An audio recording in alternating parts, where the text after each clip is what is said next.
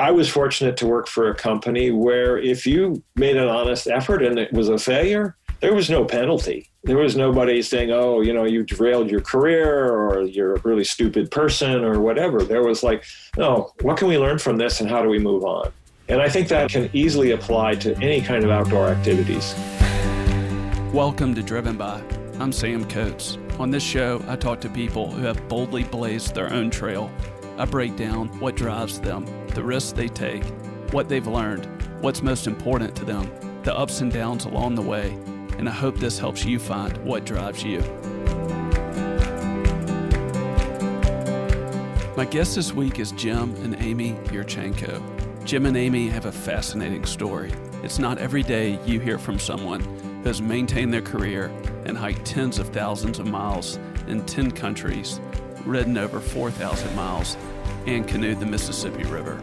During this episode, we cover knowing your principles early on and living them out what it takes to do that. Time moves fast. No one starts as a master builder. Experiencing the natural world, properly preparing for an adventure, being willing to fail because you're willing to learn, how to make your mark on the world, and more. I hope you enjoy this week's episode. Hey, everybody. I'll just make this easy. Do you need insurance? Do you want another opinion about your insurance? Just go ahead and call Matt Haaga with State Farm. It'll be easy. If you're thinking about it, just do it. We do have listeners to this show from all over the world, so this offer is only for listeners in the state of Tennessee and Mississippi in the United States. Matt Haaga State Farm offers auto, home, renters, business, and life insurance. Go to matthaaga.com. That's M A T T H A A G A.com and contact them. When you contact Matt, tell him I sent you. Now more than ever, it is harder to fly. That's why you need to know of AB Jets. If you want to be efficient with your time and fly with one of the safest private air companies in the world, then you need to use AB Jets. AB Jets has received the prestigious Argus Platinum rating the last eight consecutive years, which goes to less than 5% of operators in the world. AB Jets is one of the largest Lear 60 jet companies in the United States, with nonstop access to most destinations around the U.S. Efficient, clean, and easy to work with, AB Jets is an experience that gets you where you need to go on time and with no hassle. Go to abjets.com for more information and book your trip today, or call them at 888 520 JETS. That's J E T S. Now we're going to get back to the show. Jim, Amy, great to see y'all. Thank you for having us. So, y'all are in Silicon Valley, correct? Well, we live in Palo Alto, and that's considered part of the valley. The valley, of course, is an amorphous concept. I'm curious, in between all these trips that y'all record and publish, what y'all's day to day look like? you know, Amy, unfortunately, I know that you said that you broke your ankle recently and you're recovering from that and supposed to have a great recovery. But if that had not happened, are there any daily hikes or practices that y'all do by being such a lover of outdoors? Well, that, that question has a, a pre COVID and a during COVID. yeah. So we live in the San Francisco Bay Area and we go on long day hikes on the average once a week here and a long day hike is sunrise to sunset. We're blessed wow. to be in a place with so much public land and so much diversity of habitat. So our day to day life includes that. My day to day life includes playing pickleball almost every day. Um, All right. That feeds my social life and my get out in the sun every day needs. Pickleball's taken off. It is. it's the best. Yeah. We, we have these people that live down the street from us. We live in the city of Memphis, but kind of in more of a suburban area. And these people just somehow got this family home or some, I don't think they bought the home. I think it was passed through the family. It's a large home, about an acre, a little bit larger lot, but they only use it for pickleball. And it, it looks like a country club every day. I mean, there's eight, 10, 12 cars, people just rotating through playing pickleball on the tennis courts. It's, it's wild. Yes, it's the best. Yeah. Amy, when did you retire from Intuit? I retired in 2007. Was that the last nine to five job that you had? Uh, yes, that was the last nine to five job. I retired and spent about five years, five, six, seven, eight years helping my parents age. So I sort of shifted from the job of working, pushing buttons for a living to working in a much more gratifying way of helping my parents. Yeah. That's where my mother in law has been for the last six, seven years. It's crazy that time frame, how it just fell right into that. Yeah. And then Jim, you retired in 2012, is that right? About five years ago, plus minus. And I've continued to do a little bit of consulting on a case by case basis because I enjoy practicing my craft and I enjoy working with people. And so I've done some consulting back at IDEO and I've done some consulting for non IDEO clients as well. And that's kind of slowing down now. Uh, I'm not really actively seeking it. Sometimes my name gets passed around and someone will propose something. And if it's interesting, I might get engaged but it's not a career. It's it's an act. As I say, it's a way to continue to remain involved in using the skills that I've developed over time. Was 2003 the first long excursion that y'all took to the Sierra Nevadas? Was that the first extended trip? Oh no! Well, my first trip to the Sierra of serious nature would be back in the 70s when I arrived out in California to graduate school. My first long, well, 11 day wilderness trip in the Sierras was in 1973. Okay, so this is something that y'all have done annually since the 70s. Well, so to go back, I started before I could walk. My parent, my family did a lot of camping and hiking, and I did throughout my childhood and college and into adulthood. The reason that we fell in love with each other was partly because we have a shared passion for being outdoors. Um, so we were doing, we were spending essentially all of our free time hiking yeah. when we met. Yes. And so the Sierras are interesting and they're an absolutely fabulous place to go, but they have a, a really limited peak season of roughly two months. And we tend to go to places when they're at their best. And so we will usually do a couple of trips a year or so to the Sierra in September, October, which we've learned over time is really the best time to go. But we go to a lot of other places as well and have been. And if you looked at our trip reports, there's a lot of travel that is not yet described in there, yeah. both domestic and foreign. Really? We started writing trip reports when we built our website, which was, what, three or four years ago. And so I think we have everything that we've taken since then, and we've been gradually working on historical trips. So there wasn't really a, a gap of a, an extended period of time that y'all did not take trips. No. No.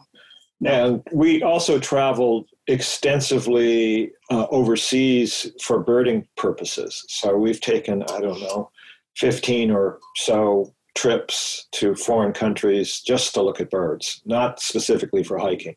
How old were y'all when y'all met? And knew the love that both of y'all had for the outdoors. What what did that look like? Yeah, I'll I'll answer that. My oh, I'm the youngest of five, and my eldest brother went to college with Jim when I was, you know, 10 years old. so I knew of Jim Yurchenco, but had never met him. But Jim and my brother were climbing partners, and they spent a lot of time in the backcountry together in the, I guess, late 60s and 70s.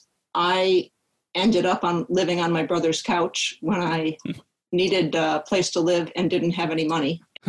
so it wasn't until I moved into my brother's onto my brother's couch in San Francisco that I met Jim. So I had known his name for 10 or 15 years before that. Wow. So in, you know, in my mind, he was already pre-qualified and he knew my brother because of their shared passion for being in the backcountry. And I shared that with my brother because that's how we grew up. So it was a pretty natural transition. Yeah, our first our first date was a trip to Big Sur, backpacking trip yeah. to Big Sur. So yeah. wow, that's where my wife and I went on our honeymoon. Oh, good ah, for you! Excellent. It's beautiful. Marvelous yes. backcountry there. Yes. So early on, from the very early stages of y'all's relationship, it was this mutual passion and interest and aspect of life that you are willing to sacrifice for. So, in that jury altogether, is that right? I would say it was a central principle of being outdoors together. Mhm. For for many years, we had a standing date every Sunday to go for a long day hike Wow. that we really never missed, unless we had a wedding to attend or something. Yeah, it, it formed the common interest and shared thread of our relationship from the beginning, and really was a for each of us our most important personal passion that we'd had in our lives for a long time before we met. Was there a feeling that you got early on, let's say in your early 20s, late 20s, of those long day hikes that you still get today that keeps you in the game, so to speak? Oh, yeah. Yes, What is that? Well, part of it is just the physical being outdoors. That both of us had office jobs, and uh, I engaged in a lot of business travel. And so having an opportunity to have complete change of environment and get outside was part of it. And so, in some ways, being outside, it doesn't matter enormously what we're doing. I mean, we go hiking, we'll bicycling, we'll birding, whatever. Being outdoors is really, really important. And we both enjoy the natural world. We enjoy its diversity. We enjoy how accessible it is. It's it's all laid out in front of you. And we both enjoy how much stuff we don't know. That you see things on trips, almost every trip we'll see something we don't understand. And so that's kind of keeps you interested. And specifically birds, which we love. Birds are individuals, and so they engage in behavior that is different from one to another. And they every time you go out and look at birds, you see one doing something, say, I've never seen them do that before. and so it's not surprising. It's people do the same thing. You've never seen a person do this before. Why not birds? And birds live their lives right out in front of you. They as soon as they're aware of you and realize you're not a threat, they just go on and do what they do. And anywhere you go, there's birds, and they can take over your life. let me build on and add to what Jim just said. Please do. I just took some notes on your question of what's so satisfying about spending a whole day outdoors. The first thing is just the sheer beauty, the aesthetic pleasure of seeing landscapes and animals and plants and things that are pleasing to look at. Second was the intellectual stimulation. Jim mentioned you always see something you didn't didn't understand or know anything about. I mean, even even places where we've spent places close to home where we've spent a couple hundred days hiking we'll go and we'll see something we didn't see Wow. um, just before i broke my ankle i was hiking and i saw a horsehair worm emerging from a dead cricket and I, I was completely astonished like i'd never heard of or seen or imagined such a thing and it's always like that there's always something to be endlessly fascinating. The third one Jim mentioned, just being outdoors, exercising all day. And walking is enough exercise to feel like you're doing something, but you can do it for six or eight or 10 or 12 hours. It's not physically exhausting. So it's, to me, it's exactly the right, the right activity to be able to spend all day. And I think the fourth one combines several of those, but so much of the things we experience in life were created for the purpose of entertaining us or catching our attention or convincing us to buy something or do something or created to please us. So movies or restaurants or shopping centers or any you know sporting events. And the natural world just is what it is. It's not there for our pleasure and it's not structured to please us. And there's something incredibly gratifying about you know we call it the real world which is probably a misnomer, but there's something gratifying about just being in a place that doesn't give a hoot about who we are and getting to see it and experience it. There's an episode that I'm releasing tomorrow, and the person talks about the same thing that you're talking about, except you take it deeper. And he talks about how this journey, it broke him just physically, emotionally, in a healthy way. Like it just stripped him away of these things that get layered on on top of us. But I'm curious, I've never heard anybody take it as deep as the way that you just took it, where, you know, like marketing, food, relationships, a lot of the times, or, you know, technology, dopamine, et cetera, everything is to trigger us, for us, to appeal to us, et cetera. But the way that you just laid that out, is there an application of that that you've seen and try to live by daily to where you try to live in a way where you kind of get out of this advanced world that manipulates the way things were in the created order to try to keep that humility or that detached perspective? It's a good, deep question. I'm not sure that I can answer it. I've never thought about it in that way. I'm sure that spending enough time outdoors just creates a mindset of there's a big world out there that's not about serving humans. But I don't think of it as a sort of a daily practice of incorporating that and deliberately creating a worldview based on it. Yes, ma'am. I think something I'm thinking about right now is let's say y'all's trips, the Mississippi River, is 2,200 miles, took y'all 58 days. Is there a piece of that that helps you kind of incorporate this in your life? So if you're going to go on the river for 60 days and be detached and be away, is there humility that you feel like you've seen and live with to where you you don't feel things revolve around you maybe as much as somebody does that's constantly on their phone or constantly staying in their comforts. We're both laughing because it definitely does not revolve around you. right. there's no there's no illusion that anything revolves around you when you're on the river. Yeah. Yeah, the river is so much bigger than you are in every respect. You know, its history, its physicality, its strength, its beauty, and you are just a little thing moving down it. It's it your place is is unambiguous. Yeah. When you're traveling uh, on the river or other trips, you're kind of paying attention to what you're doing. You're not just we're basically not online for most of these trips in any way. We deliberately don't read newspapers. We don't listen to radio. We, of course, don't. We're not watching television. We're rarely connected, except when we're looking for a weather report online. Mm-hmm. So you're living much more in the world as it is. Mm-hmm. And the trip requires you to focus on what you're doing. If you want to travel safely, you, you really can't be too distracted from where you're putting your foot or where that next eddy is going to take you on the river. So there's an immediacy to like. I just have to pay attention. And you're paying attention to what you're doing and you're paying attention to the bigger picture around you. And that kind of consumes a lot of the sort of drift of mind that you can get when you're not as busy and not as engaged in something that might tend to distract you to some of other things in life that, that you're alluding to.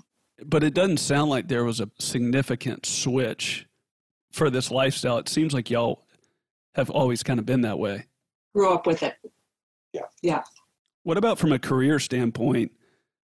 Jim, I know you're at IDEO and Amy, you were at Intuit, and I'm not sure where before that, but y'all are in San Francisco, tech capital of the world. Jim, you're a mechanical engineer and on the team that provided Apple the first mouse. You know, Amy, you had management positions with Intuit.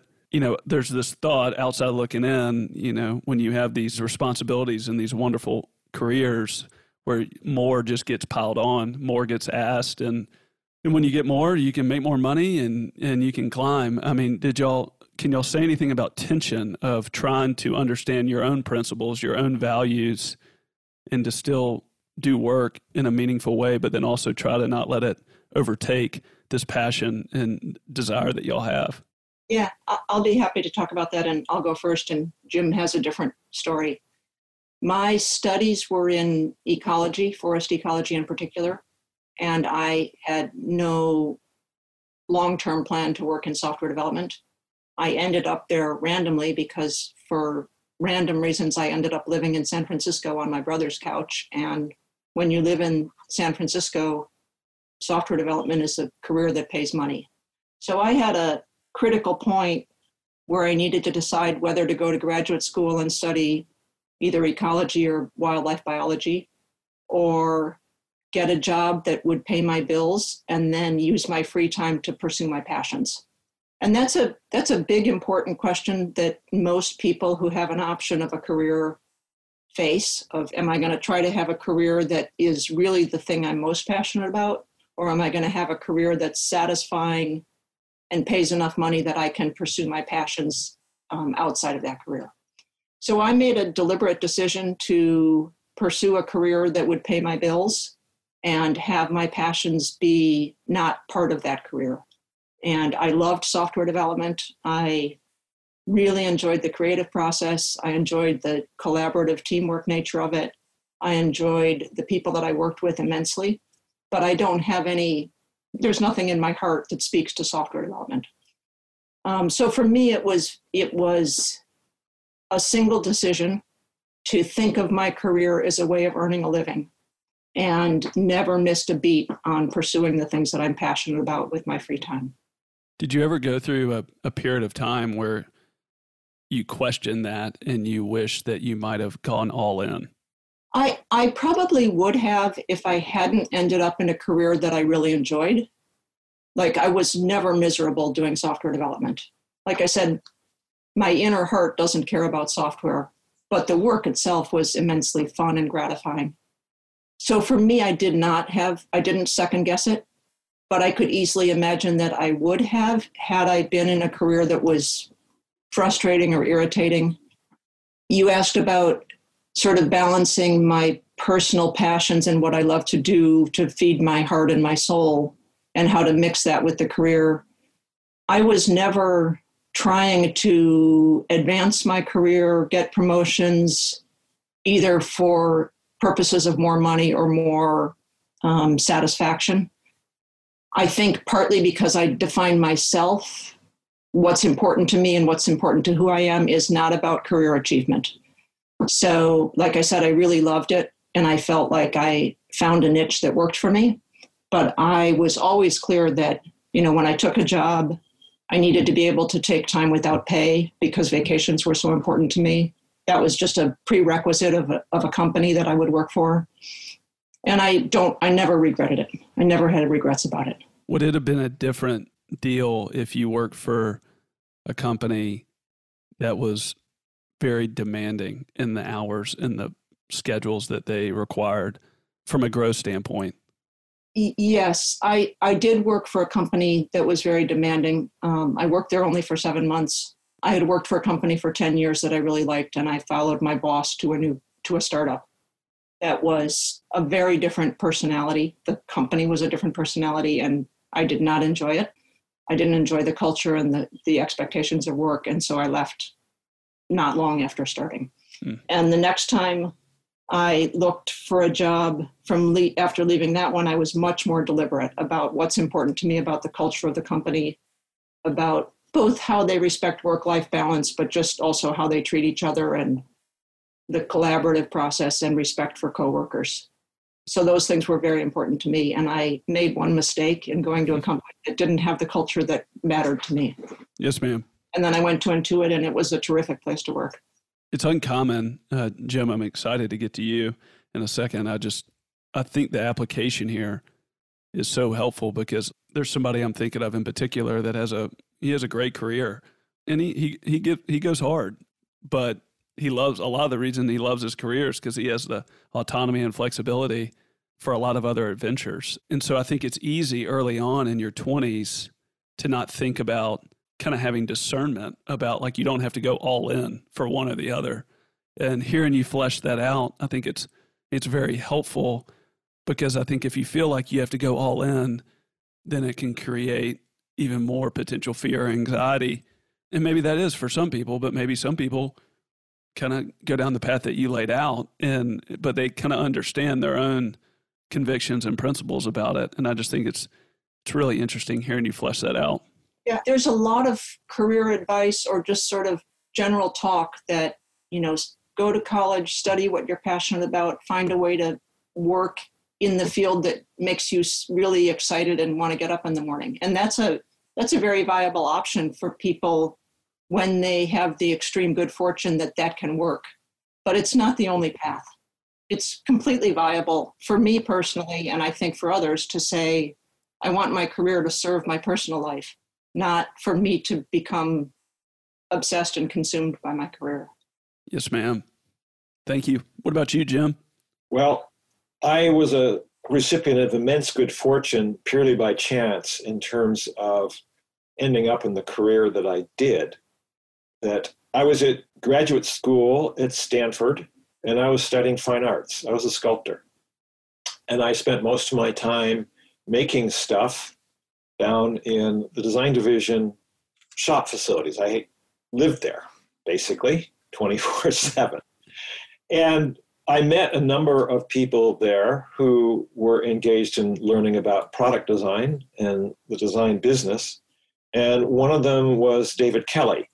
And David was working on his master's in product design, and we became good friends. I even dragged him up to the mountains a few times. and David, at one point, mentioned offhand, he says, Sometime I, I, want to start a company and hire all my friends. Are you interested? And I, well, sure, why not? I had no idea what I was going to do. And he actually did start a company and he did hire a lot of his friends. And the company grew and ultimately became IDEO. And so I started there pretty much at the ground floor and basically a self taught engineer. And I love the creative aspect of that. And I really, really, really enjoyed my job and I really enjoyed working for that company for some of the same reasons Amy discussed good colleagues, people who you liked as people outside of work, not just at work. For me, fascinating design problems to solve, interesting clients, uh, an opportunity to travel extensively. I, I, I don't know, I probably took 100 business trips outside the country during my career. During my career, I had many opportunities, many offers to go to other companies and start climbing the ladder of, oh, you know, you can start here and eventually you'll be vice president of engineering or something. And I declined them all because I really liked what I was doing and I had a good relationship with my company. And they understood clearly that there was work and there was non work. And work could not take over, at least in my life, non work. Mm-hmm. And I drew that line and I drew it hard. And I never had an issue with that. They never got on me say, "Oh, yo, you gotta you gotta work this weekend because we have this client that needs something like that." I said, "No, uh, you know, I've already got plans." Uh, I, that was never an issue. So I was extremely fortunate, and it's not a lot of places that allow you to have that personal autonomy and personal freedom to make those choices without some consequence to your career.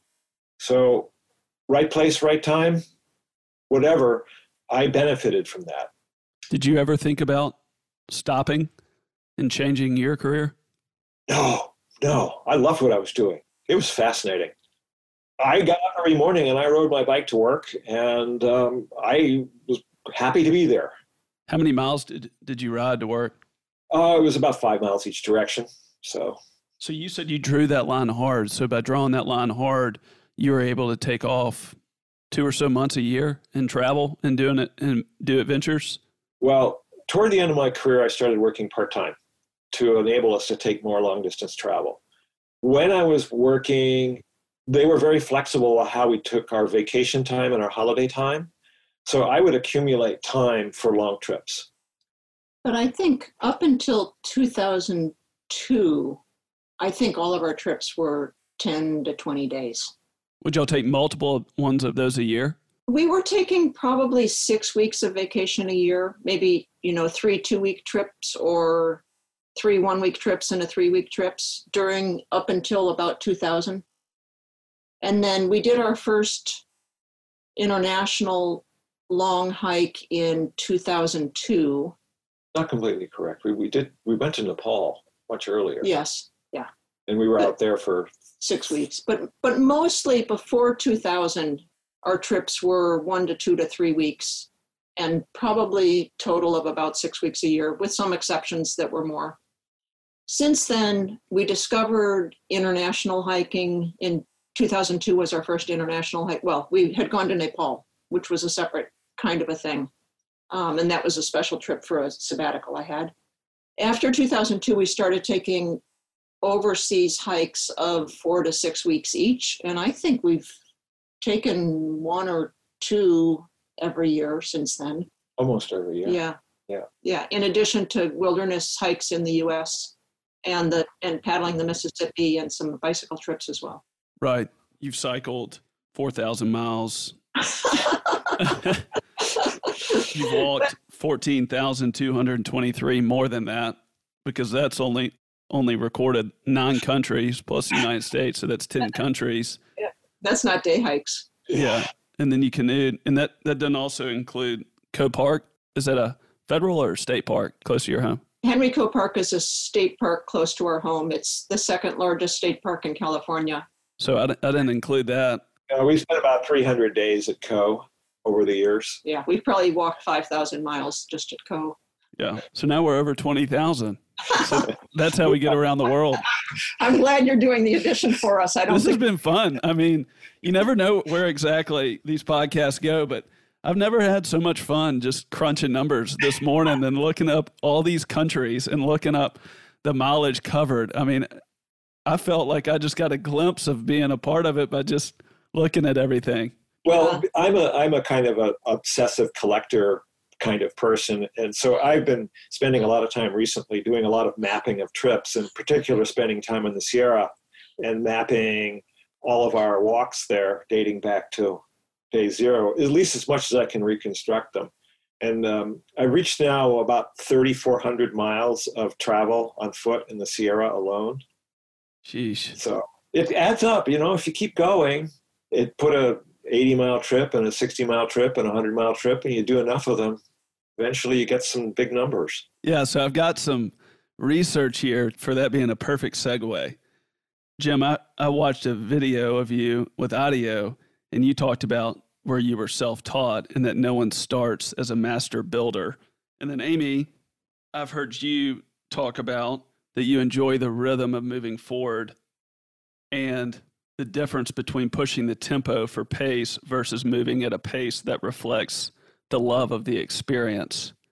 So, to kind of take what you just said, can you talk about maybe some of the early days early on, even though you had so much experience, how you just got going? And then you can look back now and you're still going and see that you're over 20,000 miles in. Well, let me start and we'll see where this goes. For both of us, with some exceptions that aren't important, we really spent most of our time on wilderness backpacking trips, often off trail in the Sierras, in southern Utah, and in other parts of the country. And on a wilderness backpacking trip, you're carrying everything you need except water. And in our case, we frequently traveled off trail. And that kind of trip is a is a different mindset and a different rhythm than being on a trail with resupply um, because you start the trip carrying everything you're going to need and at every point if you're off trail you're making decisions about do i go this way do i go that way? Is that pass going to be viable? If we're going over that pass using binoculars and studying it which which you know what's the approach? On a trail you're really not making any decisions at all. You have a, a long line in front of you you know maybe 500 kilometers or 1000 kilometers and we don't make reservations and we don't stay indoors. We just sleep in our tent. So literally every morning you wake up and you just put on your pack and you start walking. And because you're following a line you don't have to think about anything. And it's just extremely relaxing freeing experience to just be out there and observing and experiencing everything around you. Whereas on wilderness trips, you're paying attention, you're making decisions, you're thinking it through. What I felt like I heard you say is you're talking about the difference between really going off trail and then when you when you do stay on the trail it requires no thinking but when you go off trail and how many miles you have done off trail that's where there's more complexity that's where there's more decision making i think there's there's probably no right or wrong answer but i'm curious is there something there that maybe you've seen that makes you think about just the years of staying in it and the years of becoming a master builder like what what did i ask that made you go there to where you're talking about the differences between the two I think the reason I went there, you asked about sort of transitions and becoming a master builder. Yes, ma'am. We started with, in some sense, what's the hardest hiking to do, which is wilderness backpacking, where if you didn't bring what you needed, you don't have it. And if you're on an off trail route and you can't go forward because you've come to a pass that you can't ascend, you have to retreat out. So, in a sense, we started with what's, from a hiking point of view, the most challenging. And subsequently, later in life, added long distance trail walking, which in many ways is much easier. So, we still enjoy both of them immensely. And it's possible that our wilderness, our, our foundation in wilderness travel made us very prepared for, for trail walking. I mean, it, trail walking is a breeze, it's not complicated. And it's the satisfaction of it being stress free, both from a decision making point of view and a physical challenge point of view. It's kind of like dessert. like we did the hard work up front and okay. then reaping the rewards. Yeah. I'll expand on that a little bit. Part of what's involved in the, these kinds of activities is the physical skills to be able to go across whatever terrain you cho- choose to do, either being able to ride a bike down a dirt trail or to be able to physically paddle a canoe or be able to do class two, class three climbing off trail. Part of it is just the day to day maintenance what kind of equipment do you take? How do you choose a campsite? How do you find clean water? How do you keep bears out of your pack? And all the sort of background stuff that you need to know to be able to do this successfully and not have a crisis in the middle of a trip. And we made a conscious effort throughout our careers to learn things about this, try new techniques, uh, new technology, new equipment, and after a while, and I can't tell you when this transition occurred, but after a while it becomes second nature. You don't even think about it.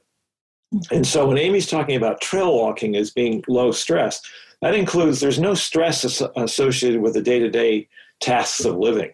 Right. I mean, we take these long trips, we don't know where we're going to camp. It's four o'clock, five o'clock, depending on when it gets dark. We'll start thinking about we need to find a campsite.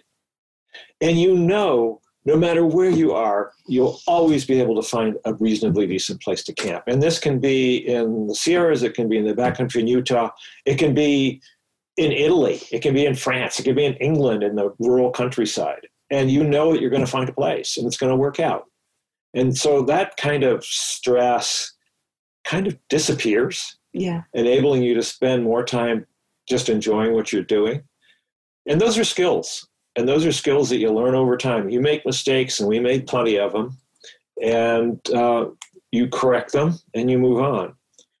So, what specific skills that you're talking about that you learn over time that you just referenced there?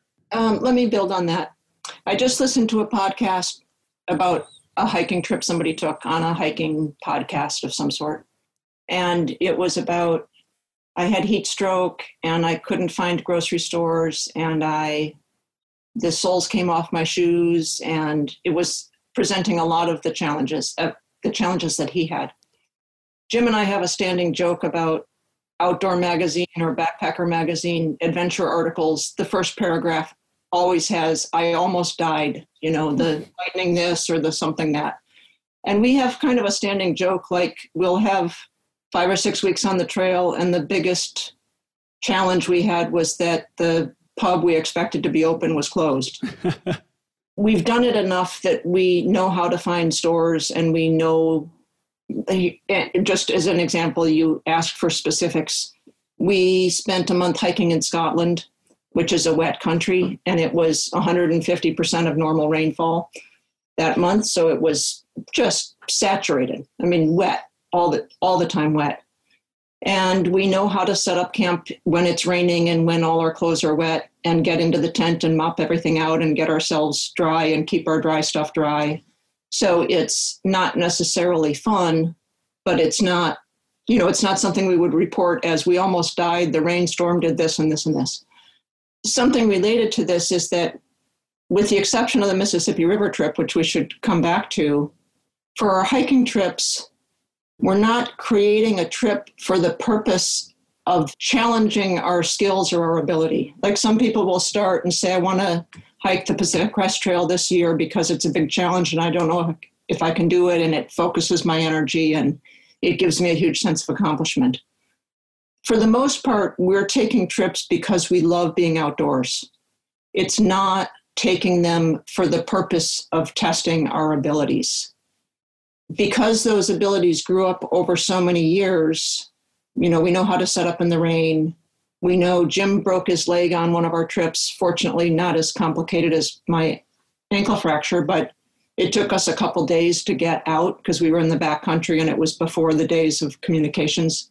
Sheesh. But it wasn't freaky. You know, it was just like, well, this is a great big pain in the neck. And the Mississippi River is a whole different deal of going into something where we had some of the skills, like the camping skills and the feeding ourselves skills, but Mississippi River is a is a you know it's a big river, and um, we had never been in a canoe together prior to that. I had done quite a lot of flatwater canoeing as a child. I grew up in the Great Lakes area, and you know summer camps in Lake Michigan itself. But Jim had not done much canoeing, and we'd never canoed together. So that was a very different thing. We're starting that. We didn't actually know if we could succeed. And we didn't know, we had an intellectual understanding of the challenges we would face, but we didn't, we hadn't experienced them in the past, unlike hiking, where we don't really face challenges that are completely new to us. Other than languages and other than languages, yeah. countries. Yeah. Yeah. It sounds like you know that was a step up from a sense of of a risk standpoint or potential discomfort early on. I'm not I'm not exaggerating that, but just the way that you just said that is that true? Well, the Mississippi happened purely by accident.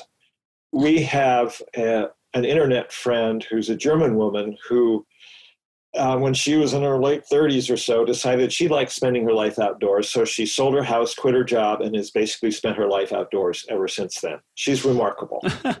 you want to talk about mileages? You talk about yeah. Christine. Yeah. She, yeah, she's a phenomenon.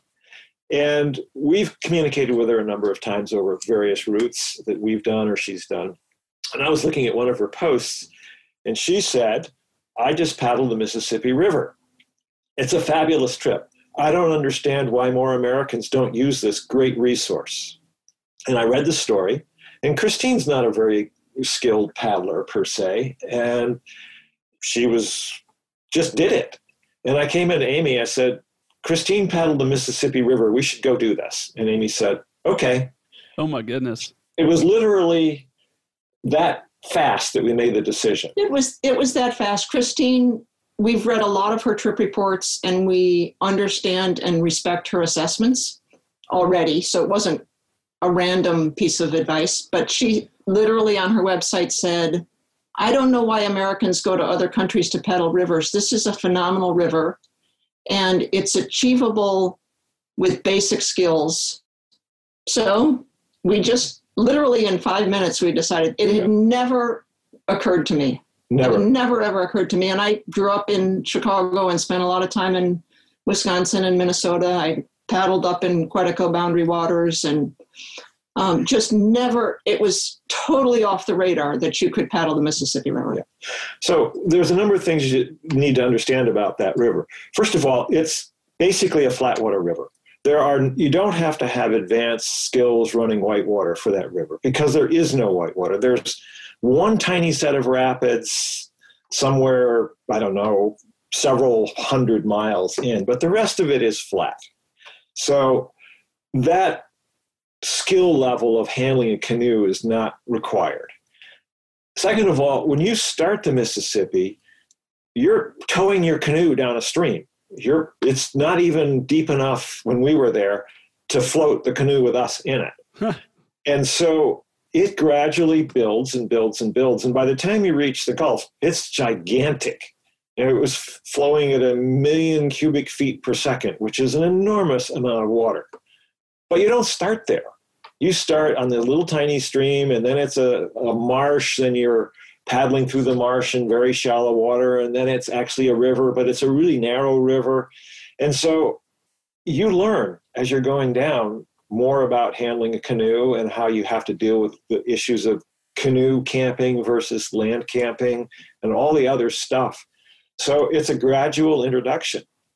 And so by the time where the river gets sizable and frankly intimidating, you've been on it for weeks and know something about the water, something about your canoe and the tools you have in the canoe and your paddling partner. And so it's not like jumping in just into this huge situation where you have not you know, have no idea what you're doing. And the other thing is that most of the issues there are predictable. Things on a flat water river don't happen really quickly in general. That the towboats that are your biggest potential hazard on the big water are moving really, really slowly. They're not racing up to you and running you over. You see them a long way away, and you can get out of their way. You can give them plenty of space. They say there's no real white water to deal with, so you're not you're the river's moving at two to three miles an hour. That's pretty slow water. Wow. Hey, everybody, we're going to take a quick pause here from the show and hear a word from one of our sponsors. After that, we'll get back to the show. Do you want to make efficient use with your time? Now more than ever, traveling hassle free is harder to find. AB Jets is one of the safest private air companies in the world, with impeccable service, with nonstop access to most destinations around the USA. AB Jets has received the prestigious Argus Platinum rating the last eight consecutive years, which goes to less than 5% of operators in the world. Bypass the hassle and get an AB Jets jet card. It gets you 10 or 25 hour flight options that makes your experience hassle free. AB Jets carries up to eight passengers and is one of the largest Lear 60 operators in the U.S. Go to abjets.com for more information or call them at 888 520 JETS. That's J E T S to travel on your own terms. There's so many things that you just shared about the stages of the river and where it starts to where it ends up that matches other things that you've shared so far on this episode. How do y'all, from a relationship standpoint, I mean, obviously y'all been clear about when y'all met and y'all's mutual love for the outdoors, but do y'all ever get in just fights out on the trail or on the river? And uh, I mean, if that does happen, what is like tension that can happen just within marriages? How does that flesh itself out when you're out in the middle of nowhere? I'll take that one. yeah, please. So, Jim may have understated how obsessively driven he can be. so, when I met him and we started taking day hikes together, he literally didn't stop walking from sunrise to sunset. Because if you stop for lunch, that's time that you're not spending getting over the hill to see what's on the other side. So, one of our first conflicts was figuring out like we have this 90% overlap and then we have 10% which is completely unacceptable. Like, this is not going to happen. You know we are taking a mid-morning break. We are having lunch. We are having a mid-afternoon snack. And like you said marriages or relationships with work or anything you have a you have a zone of overlap where it comes naturally and that's what you build on and then you have the parts where it's not it's mutually exclusive and that's where the negotiations are. So our biggest initial one was not about whether we go sunrise to sunset which we both enjoyed and not even about our walking pace which is the same we walk at the same pace but how often and how many breaks are we taking? And um, we we navigated through that okay yeah. Well, it's it wasn't just one sided on my part accepting the fact that we're going to eat lunch. uh, when we first started walking on our first trips to Henry Coe, I'd plan a trip and they were somewhat shorter than I might have done on my own. And I'd get Amy out there. She says, You're going to make me walk 12 miles today. I don't walk 12 miles. and the next time we'd go out and it would be 13 miles or 14 miles or 15 miles. And after a while, she was perfectly capable and happy walking very long distances, yeah. uh, at a, not at a ridiculous pace. so that was a unspoken compromise we made Yeah. as well. That she was willing to put in the full day, Yeah. and um, so it's it's a trade off. And if you love your partner, you do these things. I'll speak to that trade off. One of the things I loved about Jim and continue to love about Jim is his passion for getting as much out of life as possible. Hmm. Not stopping for lunch is an example of that. Literally, if you stop for lunch, then we don't get to see what's around that bend. And what's around that bend might be, you know, horsehair worms or who knows what. So part of wanting to get as much out of life as possible is being at the trailhead at sunrise because sunrise is the start of the day. And I thought that was completely crazy. And then once you do it five or 10 or 15 times and you find that sunrise is the, just the absolutely best time of day, um, I wouldn't have gotten there on my own. I wouldn't have gotten there without him saying, Of course, we're going to be at the trailhead at sunrise because, you know, the day is, if you wait until nine o'clock, you've lost a quarter of the day. So that was something where I absolutely benefited. My life definitely got better once I learned that sunrise is fantastic. Yeah, the birds are better first thing in the morning too. And once you got once we seriously got into birding as part of this activity, that became important to be there so you could see the birds. Has there ever been a season where you wanted to quit an adventure or a, an excursion? I, I did quit one. I did a trip without Jim. I had done quite a lot of bicycling, bicycle touring when I was in high school and college, and really enjoyed being out on a bicycle. Jim had done a lot of day recreational riding, but had never done touring.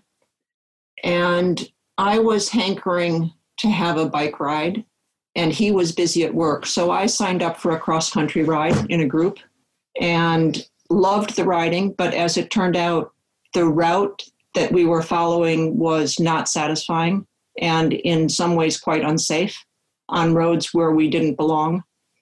And I rode as far as just past Chicago, um, saw my family as we rode near Chicago. And in Indiana, we were on roads we absolutely didn't belong on. And one of the riders was hit by a car. Um, and I just called my family and said, This is not working. I mean, I ride a bicycle to have fun, not to be stressed out. And I was the only one on the trip who, uh, who ducked out. The other riders were, many of them said, Look, I signed up to achieve a dream of a lifetime to ride across the country, and I'm this far and I'm not going to let go of it.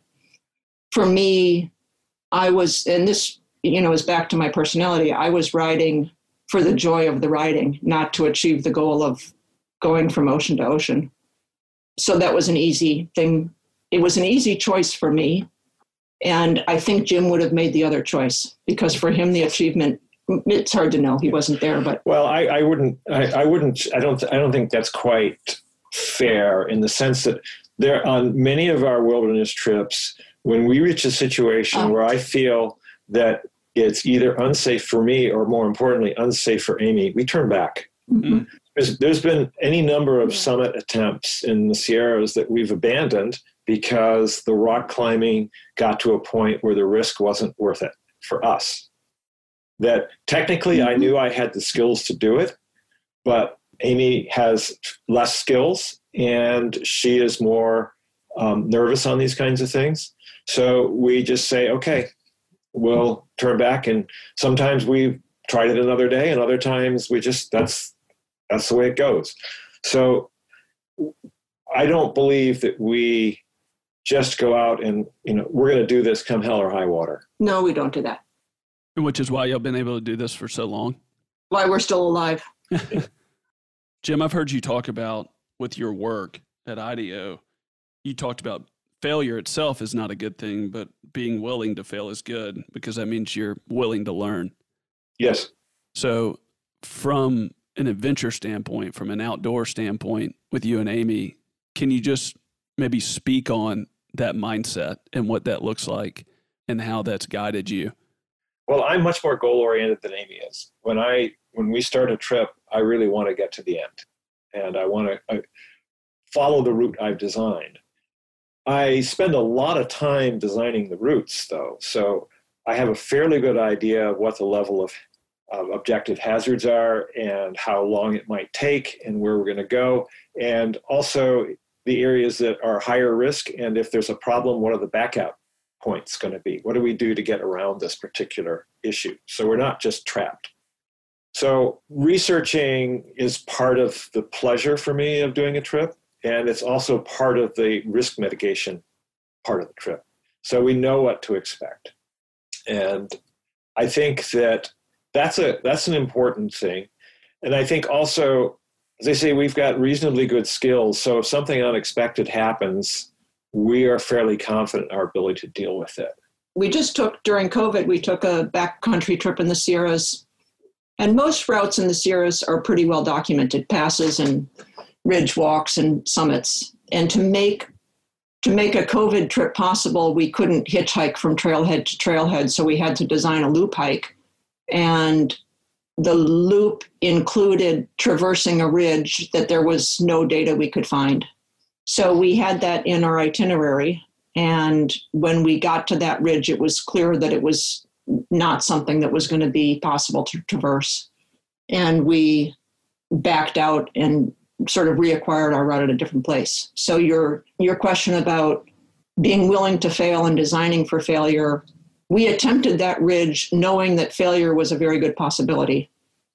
In some ways, it's not really failure; it's acknowledgement that it didn't work. Yeah. Another trip we were taking uh, was late fall, and the weather report for the time we were going to be out was actually very, very good. And we had gone in Yosemite. We had spent the day. We had climbed a couple of peaks, and then we had gone followed an off-trail route down the backside of one of these peaks, down a fairly steep couloir, and found a campsite. And that night, it just dumped. It snowed. I don't know what, 18 inches on us. Sheesh. It, and well, it, it's in the middle of the night. It just the wind turned on. I mean, we went to we went to bed after dark. It was sitting out, you know, watching the moon and calm and glorious. We had a weather forecast that was two days old that was didn't include any troublesome weather. Yeah. And something shifted. Yeah. So we woke up in the morning and everything is covered with snow. And it's snowing. And it's still snowing. And we decided, okay, the, the smartest thing to do is to abandon the rest of the trip and retrace our steps as well as we could.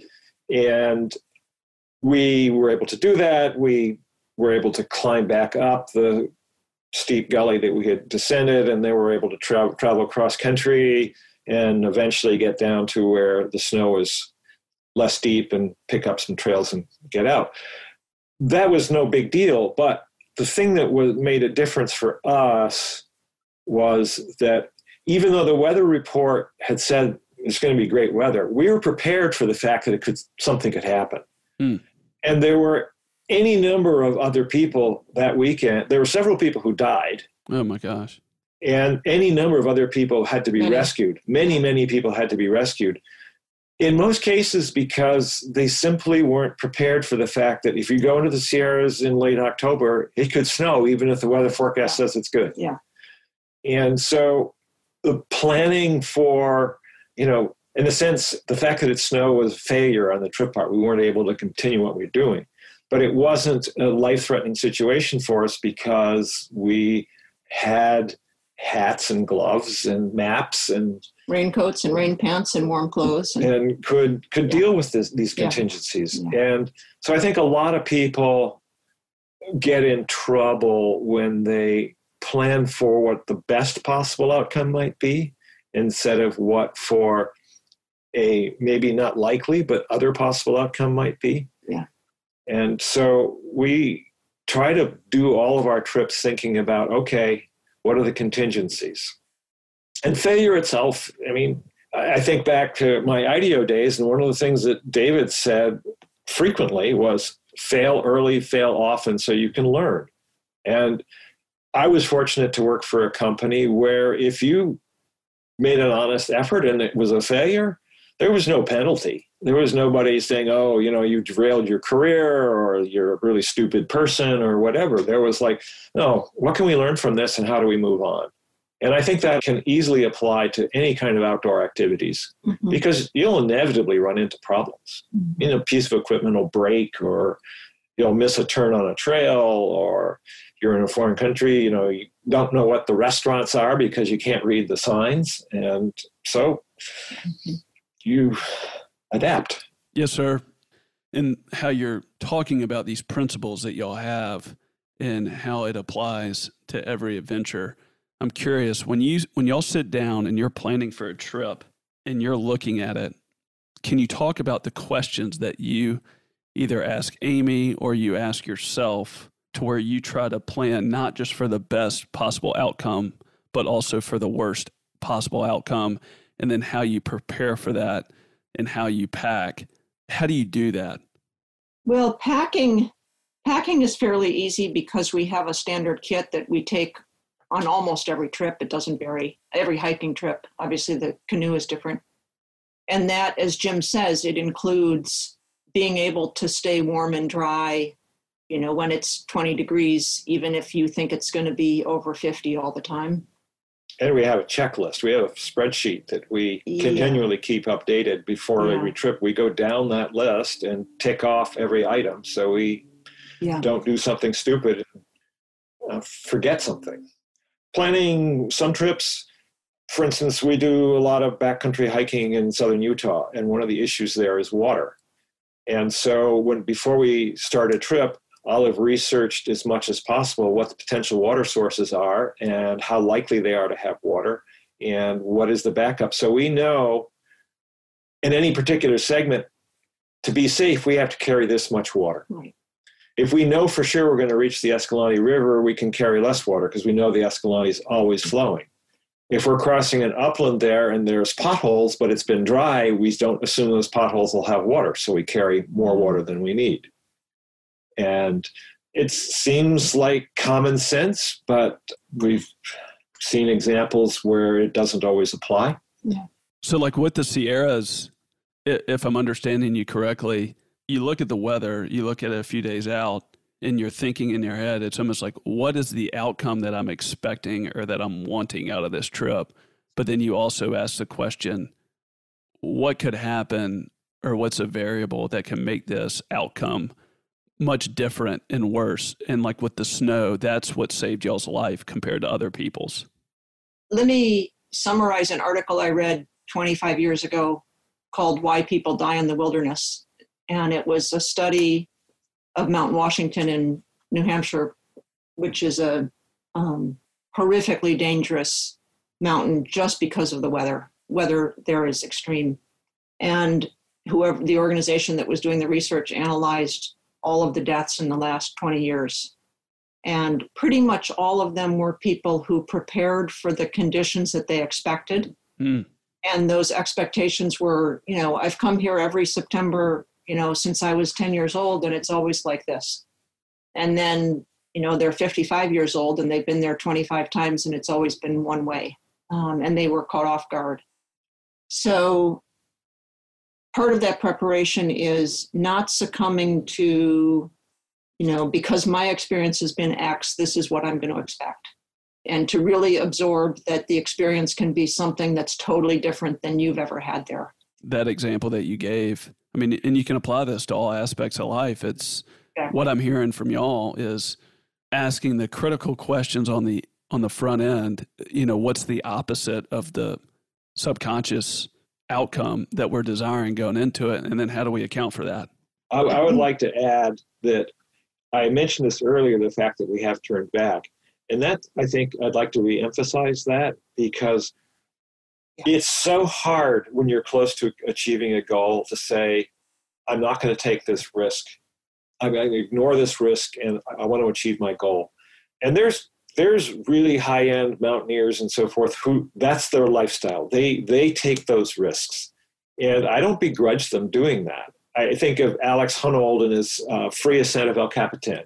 Total risk from the time he was 10 feet off the ground. I mean, just complete, you make the slightest mistake and you're dead. Remarkable achievement. But that's not us. That we we don't have that mindset. And I think for most people who don't have Alex's skill and mental control, they need to accept the fact that they may not make that summit and it's time to turn back. And it's so hard for people to do because you're so close. And so many accidents and so many fatalities in the mountains have occurred because somebody won't turn back when it's time to turn back.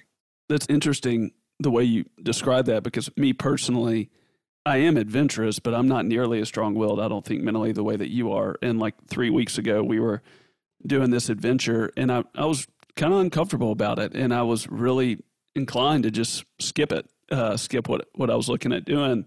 But I was just like, screw it, I'm going for it. And it wasn't crazy irresponsible, but it's that voice of how do you know how to listen to that voice? Because some people have more gas in the tank, I think, like me in that situation, to where the overall risk factor wasn't that high. But then sometimes people can be reckless to some degree. It, it costs you. And I think it's interesting. You know, I was a rafting guide out on the Klamath, mm. uh, north of y'all and I, I'm from Tennessee, so getting out on the Klamath, even like jumping from pretty good distances off the river, it was incredibly uncomfortable, but it was the best experience of my life. And running that river was amazing. But it's just it's just interesting the dichotomy between the application of that. Sam, let me tie in a lesson that I learned when I was a manager and in one of my sort of manager training sessions was a framework about learning a new skill of starting with unconscious incompetence where you don't you don't know what you don't know. You don't know how to assess what the risks are. You don't even know that you're in over your head because it's completely new with the sports analogy being you know a, a six year old playing t-ball and not even knowing that they're supposed to run around and touch the bases, but they're having a great time. Um, the second stage being conscious incompetence, when you now know enough about what that thing is to realize how little you know. And at that stage, in, in terms of outdoor adventure, you're starting to realize, hey, there's risks here that last year I didn't, you know, I did this thing last year and I thought I was safe, and now I'm realizing I'm not really safe. And the third stage of conscious competence, where you've really studied and worked hard and learned it and understand what's what. And the fourth stage of unconscious competence, where you don't really have to study and work hard and pay attention. You you have that skill and it just happens. So some of these with outdoor adventure, these people who are at the first stage of unconscious incompetence, you know, they've read about people paddling the Mississippi or whatever it is, and they think, oh, I could do that. And in fact, they probably can do that. But if they don't study enough to realize that river is definitely going to kill you if you don't respect it and treat it properly. It's, you know, it's not a safe river. It doesn't have whitewater, but it's not a safe river in that those barge tows don't see you. And if you're in their way, you're just under. Nobody knows. I mean, you're, right. you're, you're gone.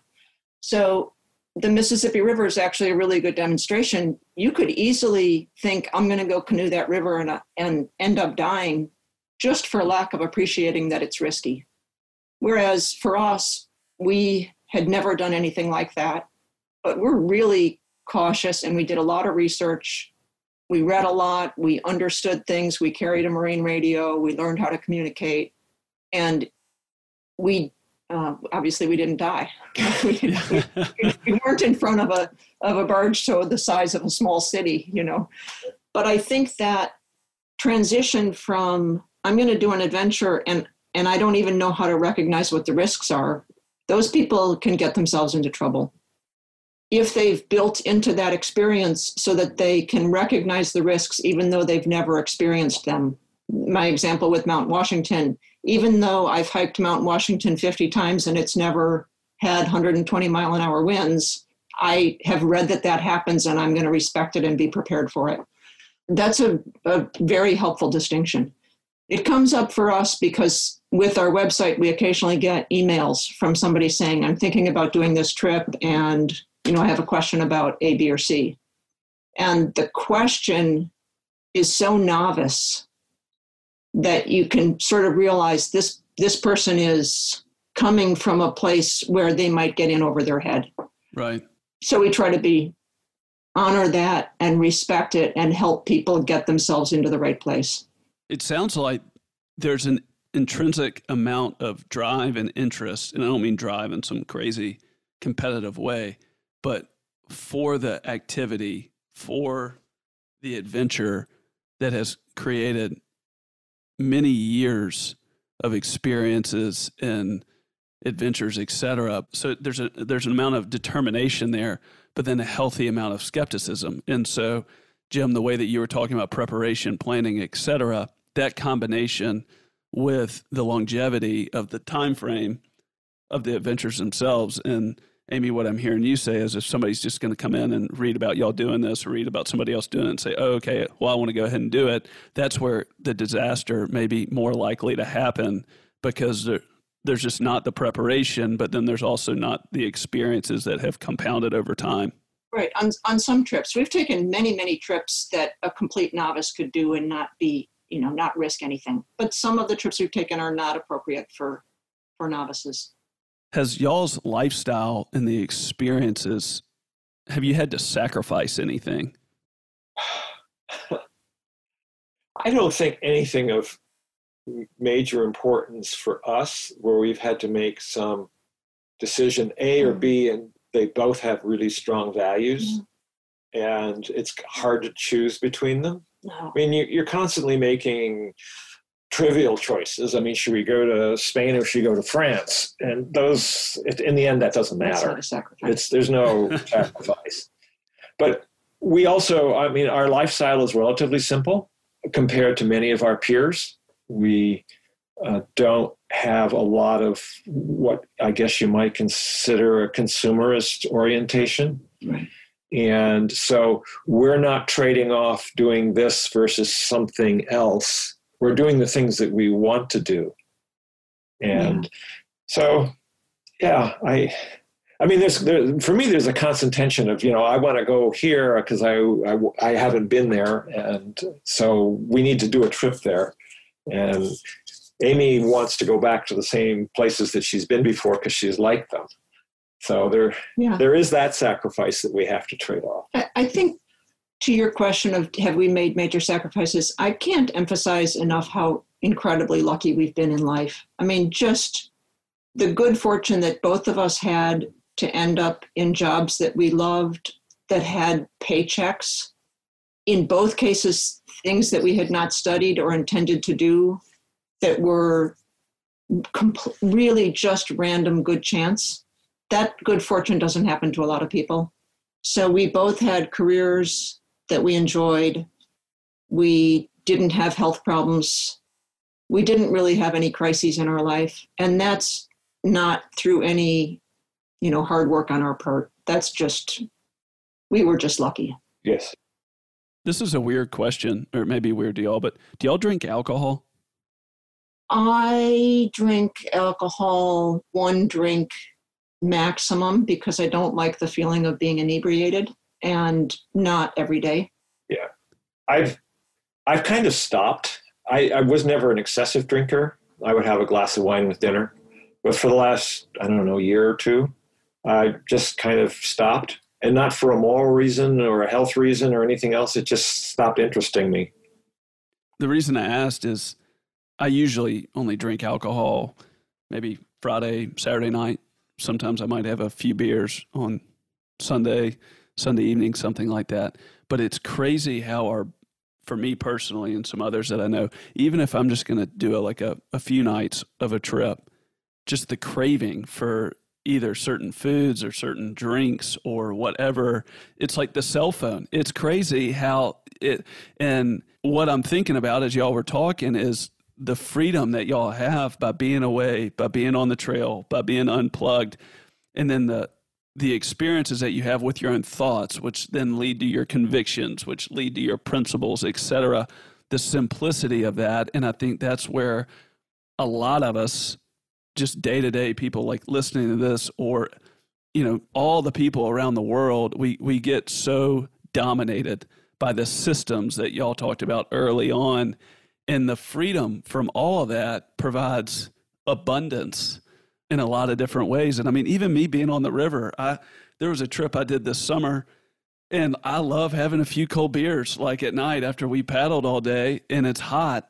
But just the, the I was being such a baby about not having some beers because we couldn't take that weight with us. And and I'm just like, golly, I'm soft. Uh, and it's just, I think it's neat hearing you, you flesh that out about y'all's own personal choices. I will say that our diet on our backpacking trips is pretty rudimentary, and there's a lot of craving for food.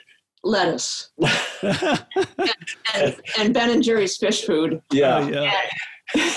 so, so it's it's not all a bed of roses. That, but I but I think that spending a lot of time backpacking does clarify what's necessary and what's not necessary. And probably the same on the river, right? Because you have everything you're going to have. Backpacking, because you're carrying it on your back, it's it's not much that you've got. You know, meals are n- not anything exciting to look forward to. It's just calories, and that does carry over into the rest of the life. And it's so easy for all of us to take for granted what we have and always be looking at that next 5% or the next 10% or you know, I have this great ice cream, but I really would be better if it had, you know, this hot fudge sauce on it or something. We're always seeking the next. And it is a good grounding to spend 10 days in the backcountry and realize you really don't need very much. You know, you need 2,500 calories a day, and it doesn't much matter where they come from, or 3,000 calories a day. And it's easy to let go of all those excessive cravings. Well, easier for you. so when when y'all when y'all get those cravings of Ben and Jerry's or I forgot what the other thing that you said was. You might have read lettuce. lettuce. Mentally, how do you deal with that? I mean, I know your options are it's impossible where you are, but I'm curious, how have you learned to confront that? There's no confrontation. You can't, you can't have it. So, I mean, it's you can you can tell stories about it or joke about it, but it's yeah. What you've got in your pack is what you got. Okay. Earlier you talked about marital conflict. So Jim consistently thinks that I'm the slowest eater on the planet uh-huh. until we're on a trip and we stop at a store that has Ben and Jerry's Phish Food, and then you get a pint of ice cream and two spoons. And so now he is absolutely convinced that I'm eating three quarters of the pint. In the rest of my life, I'm the slowest eater on the planet. Yeah, but she, she, can, she can go through ice cream like nobody's business. Well, I'm I'm impressed that y'all that y'all didn't get one pint each. I think we will next time. well, you, you realize it's two in the afternoon and you still got some miles to go, and you don't need a whole pint of ice cream weighting you down. Yeah, but you might want one. You might want one, but yeah. I'm the kind of personality where I'd eat it and then I'd about 20 minutes from then, I'd, I'd be regretting it. But well, that's one of the, that's one of the real advantages of doing a walk in uh, non-wilderness areas, as there are grocery stores and pubs, and you can go in and you can get a nice beer or you can get a pint of ice cream, and um, it can be part of the experience. So, uh, wilderness is is wonderful. It's got its advantages and it's got its unique place, but a lot of our trips are wilderness, and we love those just as much. Yeah, yeah. I'm curious. I do have a a question that I would like to ask before we wrap our time up together. But is there anything that we have not talked about that you think is important or that you're learning now that you want to make sure that we cover while we're together this afternoon? I'd say for me, uh, life is shorter than you think, and you get older faster than you think. And as you get older, you start to run into limitations. And that you should think about your options when you're young and about what really, really, really is important to you, and then figure out a way to make the trade offs necessary to at least scratch some of that itch. Don't get caught up in, well, everybody does this this way, so that's the way I should do it. Find out what's what you value and work to achieve those things. Jim, so what you just said, when you look back at your time when you were young, have you changed that much in who you were inside? Oh yeah, yeah. Uh, most of my change is due to my wife, and that's been very favorable. Uh, she's taught me a lot more patience. She's taught me to value things that I didn't previously value, value experience more than I did. She's taught me a lot about kindness and just being nice. And so I give her great credit for that. there are things that I wish I had done when I was younger. Now, when I look back, that I probably can't do now. Mostly around revolving around travel and adventure. That I'm just not don't have a physical condition that I used to. That I probably couldn't pull off, and uh, I try not to let those regrets overwhelm the great times we have had. So we all make mistakes. We move on. Mm-hmm. You talked about prioritizing the things that you care the most about when you're young and sticking to those and, and not sacrificing those. I'm curious, are you still in some degree the way that you are today, the way you were then when you were younger? I, I think I am. There are some travel experiences that I really wish I had done when I was younger, and now that I, I probably can't do. And they, I didn't do them for various reasons that at the time maybe were more rational than emotional. And um, so I carry a few of those regrets. And I think part of it was just not identifying what was the most important things at the time about me. And maybe we don't know. Maybe I changed. Maybe this is just retrospective. Who knows? Yeah. So you didn't ask, but one thing that we did not sacrifice, but for many people is a hard decision, is whether to have children. So we independently chose to not have children. And that has given us time to pursue other things that people with children don't have. That for us was not a, we didn't say, hey, we really, want to do a lot of travel and children won't be compatible with that, so we'll sacrifice that option. We chose to not have children for other reasons. So I just want to say that, you know, that's an enormous sacrifice or an enormous decision that many people have to make that was not a sacrifice for us. I can't really think of anything in my life that I felt like I compromised or sacrificed. I mean, I, like I said, I've just been just really fortunate. Yeah, uh, I second that. We've been extremely fortunate. That is great. Last question I have, Jim. I've heard you talk about from a from an engineering standpoint the ability to look at your work critically, but also receiving input from others. But I'm curious, how are y'all looking to hand over your intellect that y'all have to someone else when it comes to these experiences, these adventures, in the way that Jim, you talked about that from a professional engineering standpoint? I think a little bit of it is, is the website we've put up there, which is hopefully offering people some options of other ways to travel by human power. That we are trying to share some of our points of view and some of the kinds of things that we do without making it hopefully not really about us, but more about what the experience could be. Other than that, I'm not. I'm not sure. I, I, I don't. I don't really have a way of doing that.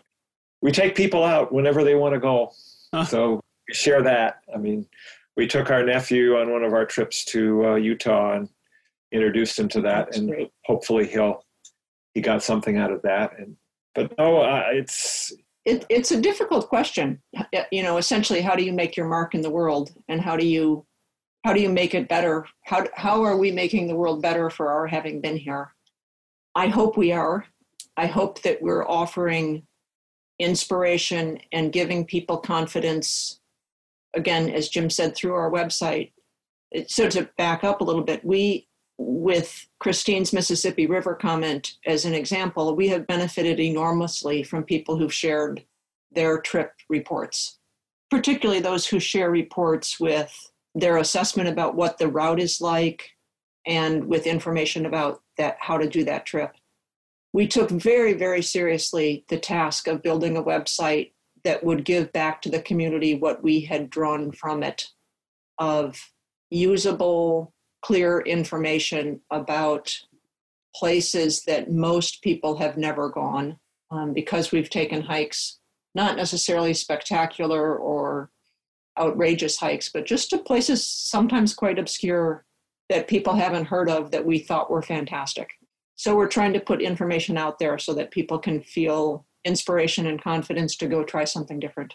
Yeah, I think one of the many things that y'all are teaching me and you're going to teach other people through hearing this conversation is y'all have made these hard choices and even though they might not be quote unquote hard choices to you y'all established years ago your priorities and your values and you you live by them. And from career standpoint from those choices from the trips you take from how many miles you cover et cetera y'all are a living example of what happens when you what you really can experience and how nature can truly impact your life in the ways that you've hashed out. And i think anybody that's listening can connect to the reasons and the things that cause them for really doing it.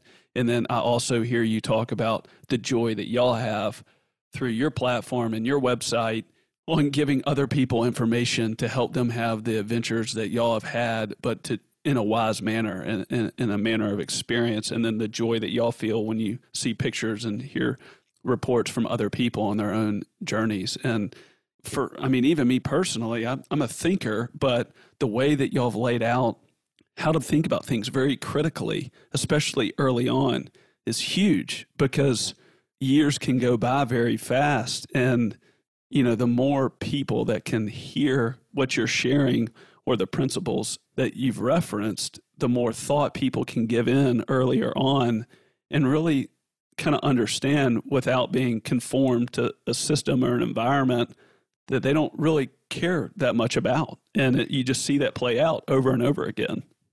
I think that's a good that's a good summary. Yep.